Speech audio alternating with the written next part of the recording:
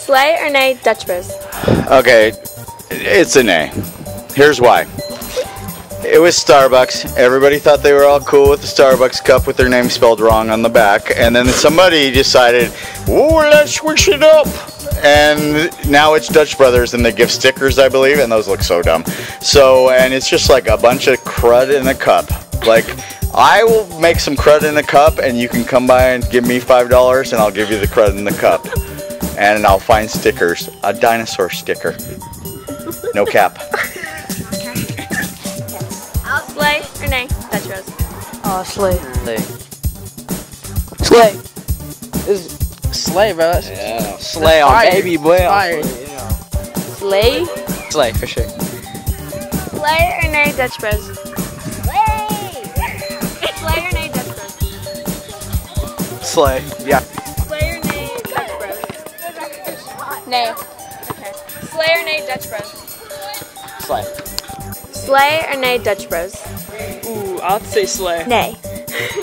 Dutch Bros. Nay. Slay or nay Dutch Bros?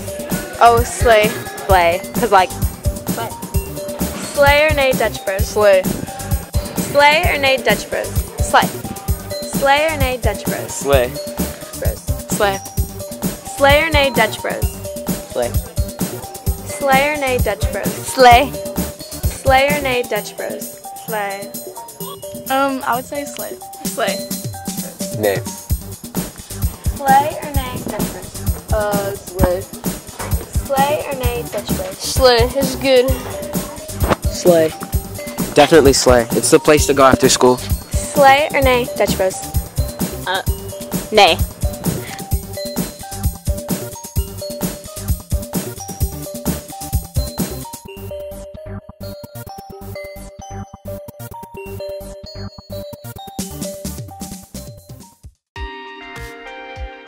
All right, go ahead. Good. Oh. bleh. Hey, it's Angelia. And I'm Tayson. Good morning. Remember to be rad, be rad, and stay rad. Res- responsible and respectful. A few reminders about this week is the no gum on campus and throw your trash away. Every Thursday, the Friday Night Live Club will be meeting in room 501 at lunch. Please join us for super fun activities and great conversation. Chess Club meets every Thursday in room 21. Attention all Mesa student artists. If you are an artist and enjoy drawing or painting and have art that you would want to put in the yearbook, please put it in Mr. Slater's box with your advisory class teacher's name on the back along with your name.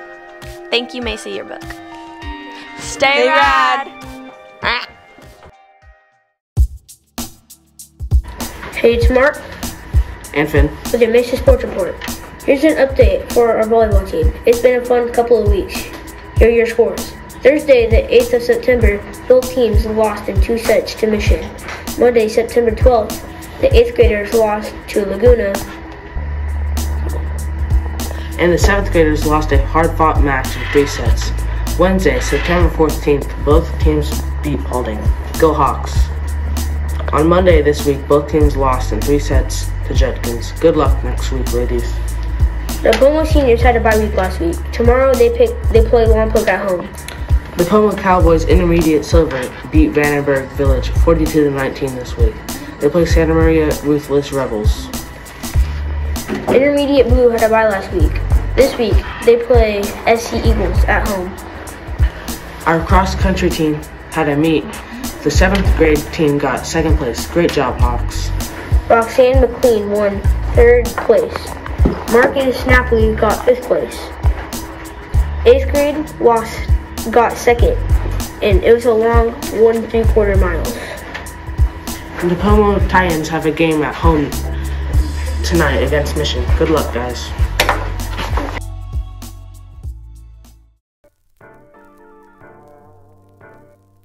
Hawks, I'd like you to meet your 22-23 ASB officers. Hello, my name is Maylee, and I'm your Sergeant of Arms.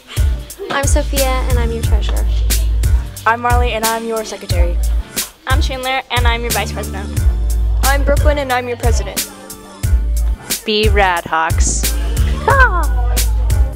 Hey, I'm Diana, and This week, Junior Maldonado was nominated to be Student Spotlight of the Week by Mr. Fasthaven. Our ASB students will be highlighting one student throughout one one student each week throughout the year. Here All right, that's it. Let's hear from Junior. Hi, Junior. We're gonna ask you a few questions. What's your favorite subject? My favorite subject is math. What's your favorite sports team? My favorite sports team is the San Francisco 49ers. What's your favorite hobby? My favorite hobby is playing sports with my family. What's your favorite color? My favorite color is green. What's your favorite food? And my favorite food is pizza. All right, thank you. Have a good day. You too. Hi, I'm Ash. Hi, I'm Zephyr. And next Friday is Dress Like a Teacher Day. So figure out who you can dress up as. Yeah.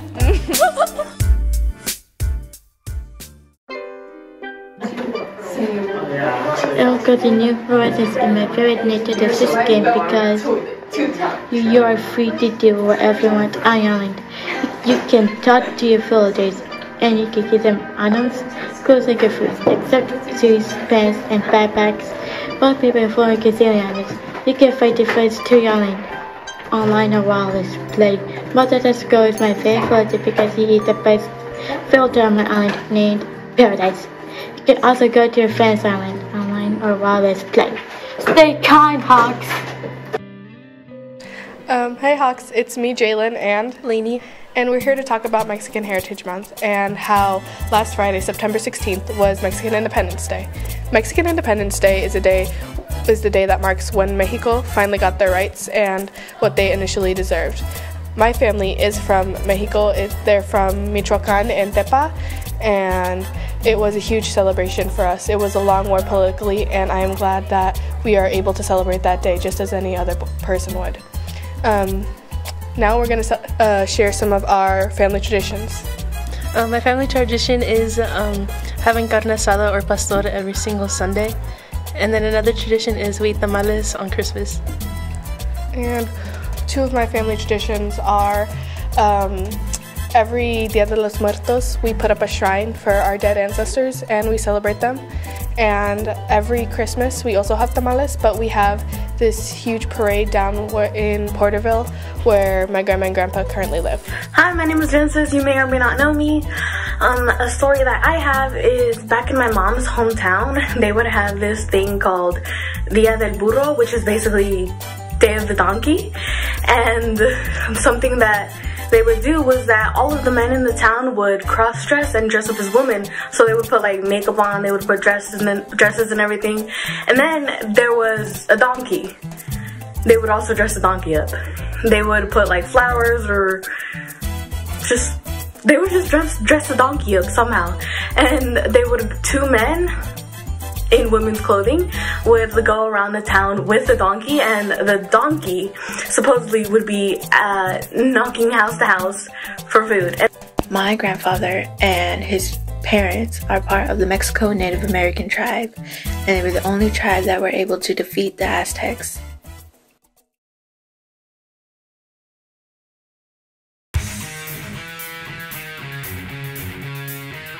Hey Hawks! Coach Lindgren here, happy to report uh, the great work that our seventh grade girls volleyball team did and the eighth grade is doing as well. Our seventh grade girls yesterday at the St. Pat's Tourney knocked out seven teams and got second place out of eight teams. Absolutely amazing. Here's some representatives. Get in here. Say something. Um, we played really well as a team and we all got like good playing time, which I like. Yes. Yeah.